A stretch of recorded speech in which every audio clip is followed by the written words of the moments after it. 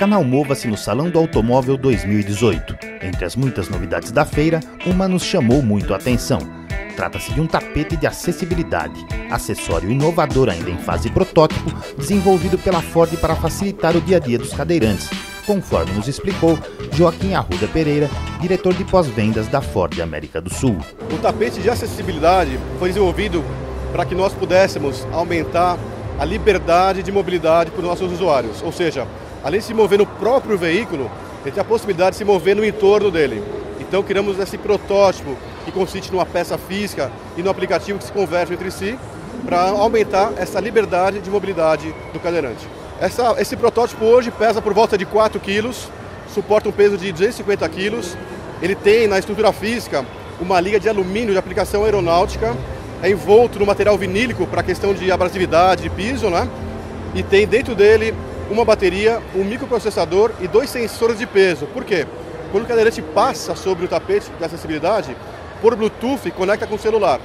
E a partir do momento começa a mapear os pontos da cidade onde tem a oportunidade de se prover uma maior mobilidade. Quando nós desenvolvemos ele, pensamos na parte funcional, na parte de ergonomia e na parte estética também. Então nós nos baseamos em designs de guarda-chuvas, mochilas, bolsas e até a capa de tablets para desenvolver algo que não fosse grosseiro e que se integrasse na cadeira de rodas. Hoje, essa falta de mobilidade gera até um problema social. Os, as, os portadores de deficiência, eles pensam, eu vou num lugar novo hoje, eu vou ter acesso lá, vai ser difícil. Então a ideia é que eles tenham maior liberdade de se mover onde quer que seja. Quando vocês desenvolveram, vocês tiveram consultoria de pessoas com deficiência? Sem dúvida.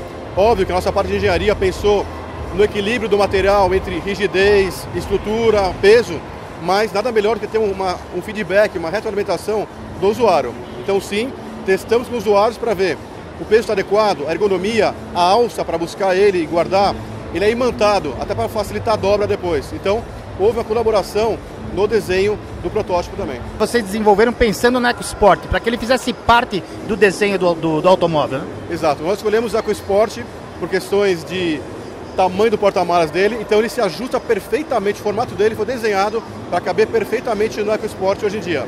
Mas nada impede que no futuro a gente revise o formato dele para ser aplicável em qualquer outro produto da Ford ou até não Ford. O nosso intuito como empresa é gerar mobilidade para todas as pessoas.